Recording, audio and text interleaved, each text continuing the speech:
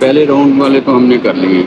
अब है दूसरा राउंड अब दूसरे राउंड पे जो है ना हम जो है ना पहला पिस्टन जो है ना डांसिंग पर लाएँगे और ये जो है ना छठा पिस्टन पावर स्ट्रोक ऊपर पावर स्ट्रोक के जहाँ पे फायर होगा तो इसकी हम क्लियरेंस करेंगे, इसके ऊपर निशान लगा दिए हमने।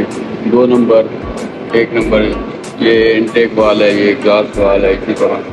पहले राउंड में हमने कर लिए हैं, अब दूसरा राउंड करने वाले हैं। दूसरा राउंड करेंगे, बाकी जो बॉल बच गए हैं, वो दूसरे राउंड में हो जाएँगे, ताकि इसकी टाइमिंग और बॉल क्लियरेंस जो अपनी टाइमिंग से खुलें अपनी टाइमिंग से बंद हों, और जो भी section discharge compression power scope है, ये कंप्लीट हो जाएगा।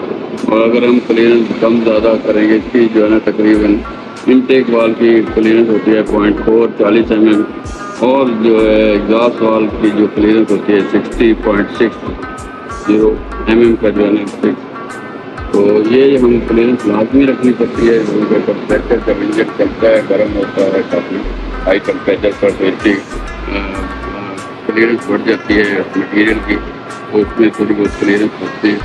ताकि अपनी सही टाइमिंग से खुले, सही टाइमिंग से बंद हों और सही टाइमिंग से कंप्रेशन हो और इसी की ये पंप की टाइमिंग है। पंप की टाइमिंग भी इसी तरह के सही अगर हम एक नंबर पे फायर कर रहे हैं तो उसी हिसाब से जो है ना फ्लूड की जो है ना सप्लाई जाए। और उसकी जो टाइमिंग है बकायदा ये टाइमिंग रखी हुई है हमने। और इसकी डिग्री नीचे से हम फ्लाई व्हील से सेट करते हैं। पाँच डिग्री सात डिग्री के ऊपर हम रखते हैं, ताकि सही टाइमिंग के ऊपर पिस्टन बिल्कुल टॉप पे आए। तो वालेकुम तो कैसे हैं गाइस उम्मीद है सब कैरियर से होंगे। तो आज हम देखते हैं कि इंजन में क्या क्या नई चीज़ की फिटिंग हो रही है।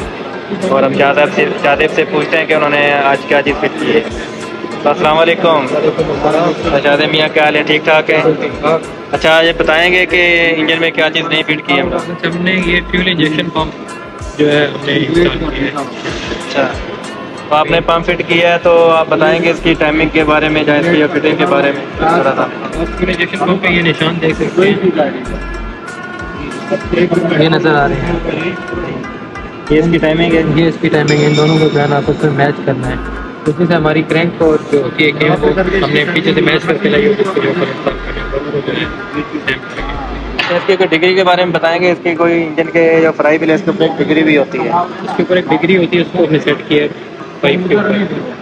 तो वो पावर उसको फायर दे और उसमें सही फायरिंग हो जाए और उसके उसी हिसाब से जो है ना इंजन सर्कुलेशन करता रहे। पहले राउंड में आधे बाल हो जाते हैं दूसरे राउंड में दूसरे जो बाकी बाल बचते हैं चले अभी ये दूसरा राउंड दे रहा है अच्छा ये दूसरा राउंड है किस तरफ़ देना है पता चले हमें कि किस तरफ़ हम जो है ना क्लॉक वाइज कोशिश करते हैं इंजन क्लॉक वाइज देना है वो। जिस साइड पे इंजन घूम रहा है ना उसी साइड पे हम घूमने की कोशिश करते हैं। उसी साइड घूमे अब हमने जो है ना एक नंबर को डांसिंग पे देखेंगे और चेन घुमाओ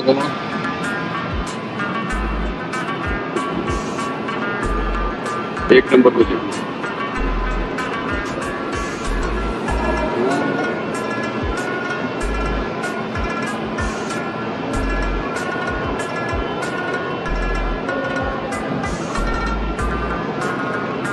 ये हमारा ग्लास हॉल जो है ना खुल रहा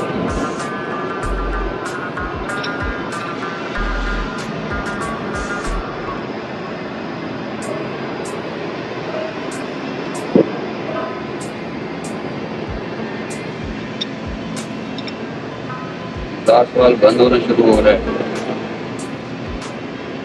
ये बड़ी बारी लेनी बड़ा पाइप इंजन को जो है ना अभी ऑयल वगैरह नहीं मिला हुआ, थोड़ा सा हार्ड है। इस वजह से जब ये थोड़ा सा चलेगा तो ये नए पिस्टन नए रिंग हर चीज़ नहीं डली हुई है। इस हिसाब से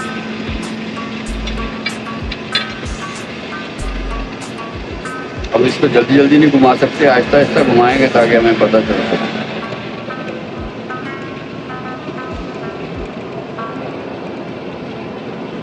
सेक्शन ले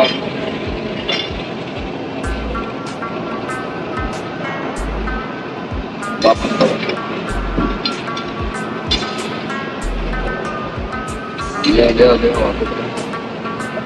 ले ले ले ले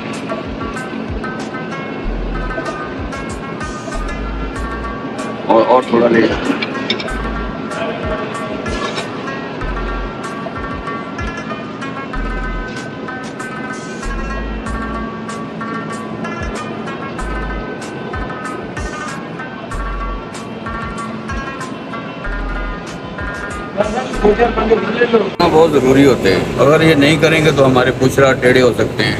या इंजन चलेगा तो काफ़ी नुकसान हो सकता है। ये टाइमिंग क्लियरेंस सेट करना बहुत अहम है इस इंजन के अंदर। किसी भी इंजन के अंदर है। कोई भी इंजन है डेपेट क्लियरेंस करना जो है।